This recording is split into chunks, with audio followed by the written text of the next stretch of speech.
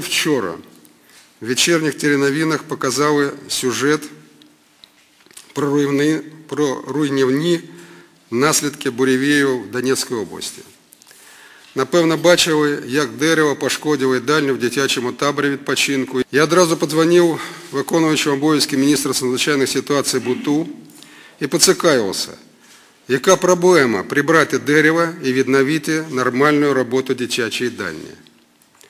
За кілька хвилин мені доповіли, що, що ще вранці це було зроблено. Але ж країна побачила інше.